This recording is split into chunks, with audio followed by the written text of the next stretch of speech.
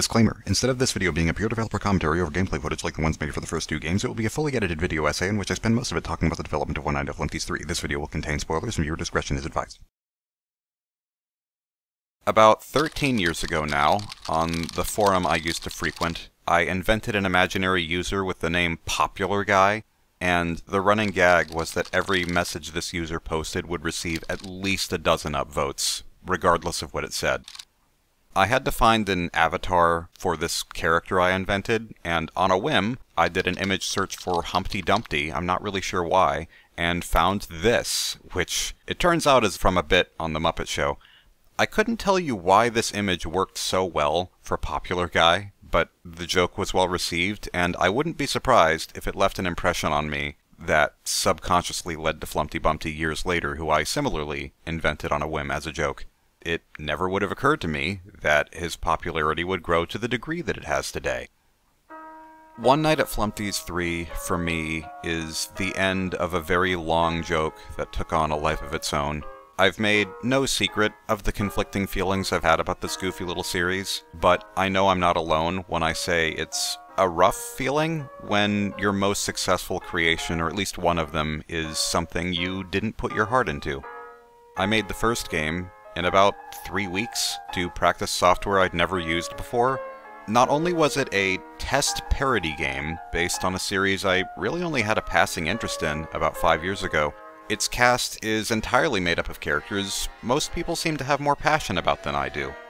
A lot of artists refer to their original characters as their children because of how much love and care they put into them, and I definitely feel that way about some of my own characters but I've never had that experience with Flumpty or Blam or the others. For me, they're just kind of a means to an end. All of this is to say, when I found Scott Cawthon's email about the Fazbear Fanverse initiative in my trash folder, the reason it was there at all is because I had filters in place to automatically delete emails about Flumpty and FNAF, because I had no expectations of doing anything with either of them again. In fact, I had also deleted all the source files for the first two games, which made it more difficult when I had to remove all the copyrighted material from them for the official releases because somebody had to decompile the games for me, and after that, the only way for me to edit the images was to draw over them. So that was fun. I joined the initiative knowing I didn't have to make a third game if I didn't want to. Even still, to me it only made sense to try, because of course, one last game to tie up loose ends for the fans and for myself would make the whole thing more special. So I got started, and this is going to sound strangely familiar, but I started with a dream I had. A few years back, probably about four years ago now, three or four, I don't know exactly, I had a dream about a hypothetical third Flumpty game that took place in an empty cabin on a mountain with a blizzard outside. On each of the four walls of this cabin was a wide open door Flumpty and Blam would sometimes appear behind, and just looking at them was enough to make them vanish back into the storm. If I had directly translated the stream into game form, the gameplay would have been garbage, because all you'd have to do is spin around in a circle and you'd win. Still, I liked the idea of a real third game taking place in a freezing cold environment, so I made the office a freezer and turned the temperature into a mechanic.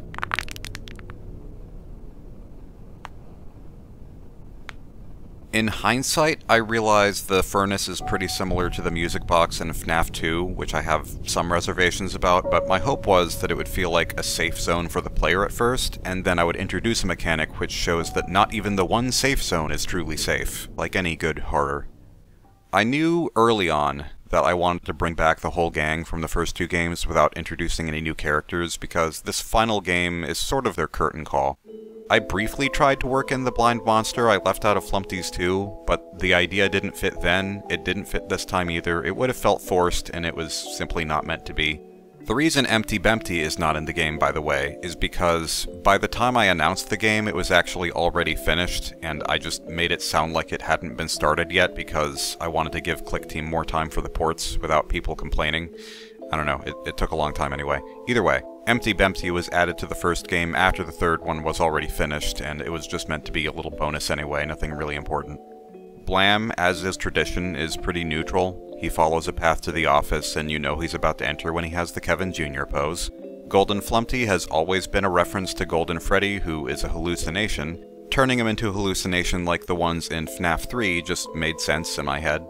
Someone had to come out of the furnace, and the Red Man seemed like the obvious choice because he's associated with fire and lava, although the idea of having him teleport through a portal in the wall was sort of carried over from the Grunkfuss portals in the cancelled One Week at Flumpty's plans. Several things were carried over from those plans, one of the most obvious things being the snapshot camera, which I repurposed for use in the office instead of the security cameras because I wanted to force players to use the monitor to determine when a character is right outside, and lighting up the darkness in front of you with a flash of light just seemed like a cool way of fending them off. When balancing the game, I felt like there needed to be more of a reason to make every snapshot deliberate, which is why if you flash the light at Grunkfuss the impatient clown, he attacks you, unlike the other characters. It also worked out well, because the room Grunkfuss comes out of this time is an exhibit for clown art, which is an idea I was rather happy with, and it makes sense for an art exhibit to have a sign prohibiting flash photography. There was no way I couldn't bring back both the beaver and the owl this time, but one thing I didn't want to carry over from the cancelled one-week plans was the toilet paper mummy beaver idea, because I knew everybody would be expecting that, and I was right. I also tried to find a way to implement both characters separately without their mechanics being identical, because having every character behave in a unique way is just my preference, but nothing I came up with felt natural. I eventually had the idea to kill off the owl like I killed off the beaver, and combine the corpses of these two functionally very similar characters into one twisted-looking chimera, which felt nice and spooky and didn't sacrifice gameplay. I think Eyesore was the last character whose mechanic I came up with for the first night, because by that point it felt like I'd covered all the bases with the other characters, and I didn't know what else to add that would maintain the balance of the mechanics. Most likely what led to me putting Eyesore in the door was the fond, eerie mental image of all those eyes staring at you from the darkness, and I'd say it serves as a nice extra incentive not to look at the security cameras for too long. The number one idea that I absolutely wanted to bring back from the cancelled one-week plans was a hectic night dedicated entirely to Flumpty with a dramatic shift in tone. Flumpty Night, as I call it, was the whole reason I wanted to make a third game in the first place, even six years ago. After all, Flumpty is the namesake of the series. He's immune to the plot, he can transcend time and space. He really should be the scariest character, and I did everything in my power to make that happen. The end result, in my opinion, is even better than I'd always hoped it would be. I'm glad I didn't design this night in the one week at Flumpty's days, because I've learned a lot, and I was able to capture exactly the mood I wanted back then, just with better gameplay that handles a lot of the same elements in a different way. I brought back the rooms that swap places on the map, the starry hallway, the laser doors, the room decorated with a bunch of glowing lines. The addition of the dinosaur is my friend's idea. This night combines a lot of new ideas with the best of the plans I had before, and it doubled as fan service, so that's great. It was cathartic, in particular, to animate the spider-legged Flumpty scampering through the vents, because that imagery had been in my head for years, and I was so eager to make it a reality that I'm pretty sure it's one of the first things I made when I got to work on Flumpty Night. I was also excited to make the jump scare, because Flumpty is more or less a reality-bending god of death,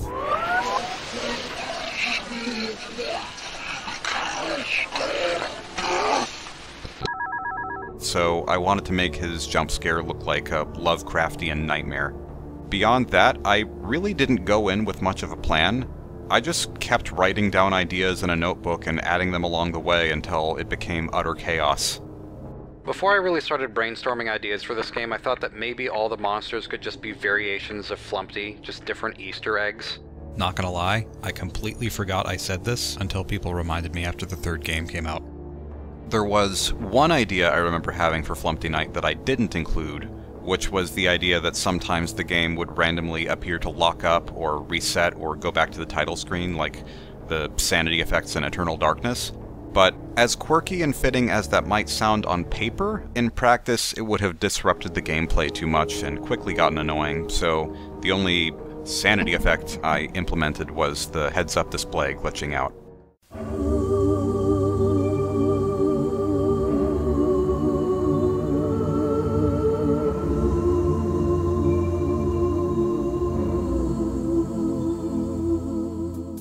The decision to compose an electro swing song for the end of the night came to me while I was listening to Caravan Palace. Go figure. I wanted to greatly outdo the little jingle in the second game while also making reference to it, and I actually thought it would lighten the mood at the end of the night, but after putting it in, I think it just made things more intense, which is even better. I think it wraps up all the mayhem in a nice little bow, and I'm very pleased with how it came out. Flumpty Night is really the climax of the game, and even though Hard Boiled mode is meant to be the hardest of the three nights, I didn't go out of my way to make it the hardest challenge it possibly could be, because narratively it's the falling action, it's the farewell to the characters, and I wanted people to actually be able to beat the night and see the true ending. In Five Nights at Freddy's 3, which always felt like the proper ending of that series to me, the background music of the Shadow Bonnie minigame was a music box cover of a classical piece by Schubert, which in English basically translates to Swan Song Number 4 Serenade. I used that same music box theme in the cancellation video for the One Week at Flumpty's game years ago, and it felt appropriate to sort of call back to that for the bittersweet final night of the series. So I made my own cover of Schubert's Serenade, and that's what plays in the game.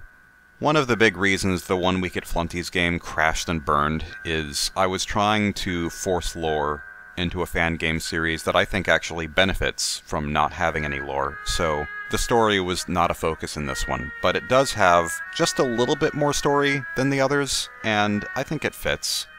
It occurred to me that the goal of the player has always been to survive until 6 a.m., and technically, the Flumpty series has never ended a night on 6 a.m. The first game ended with ham, the second game ended with spam, but never six. It also occurred to me that this series is called One Night at Flumpty's, and Flumpty is above the laws of time, so I could make the argument that every night in the series is the same one night being reset over and over again with different rules until 6am finally arrives and you're free. I was happy with that idea, and it resonated with me on a personal level as well, because in some ways, I've felt trapped with Flumpty and have been waiting for a feeling of release to move on to new things. The final shot of One Night at Flumpty's 3 is a callback to the image I used in the trailer for the first game, and it's the very same shot I had planned to end the One Week at Flumpty's game with. Incidentally, now that I've added a hard-boiled mode to the first game, it has two nights, the second game has two nights, and the third game has three nights that adds up to seven nights, which is one week. So, in an unexpected, roundabout way, we did get to spend one week at Flumpty's after all, and I was able to end it how I always wanted. If I'm being honest, in regards to both Flumpty's and the Fazbear Fanverse initiative, it feels like I have more negative memories than positive ones, and maybe that's just because the negative ones stand out more easily. I've felt torn about my relationship with these games, and I think all the Fanverse developers agree that the initiative could have been handled way better than it has been, with unclear communication being perhaps the biggest issue of all. But hopefully, since my games have been the first ones in the lineup, I've run into most of the major problems, and the experience will go more smoothly for the others. Major shout out, by the way, to Phil Morg, who is also part of the Fanverse developing FNAF Plus. I have no idea why Clickteam was given the unreasonable task of porting multiple games that weren't made in their own software, but Phil came along and did all the remaining necessary work for the Flumpty ports. He made a stylish menu for the console bundle, and he even found and fixed a few minor glitches that slipped under the radar. I could not have asked for anyone better for the job, and he's frankly the sole reason Flumpty's 3 came out before the death of the universe, so I'm very thankful, very, very, very thankful for his help.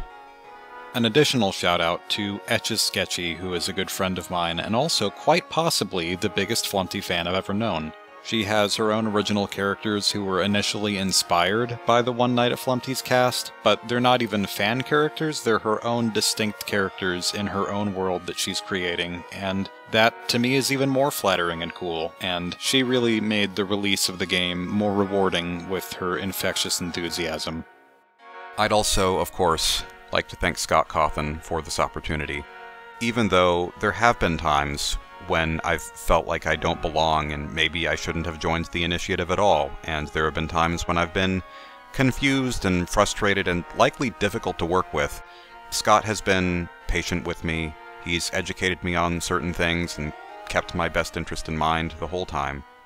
Ultimately, when all is said and done, I'm glad that I made One Night at Flumpty's. I'm glad that I joined the fanverse, and I think through this initiative, Scott has made a lot of people's lives a little brighter. Yeah. This is pretty much where my relevance with the fanverse ends, with the possible exception of merch in the future, although I still don't know whether that'll happen or not, so we'll see.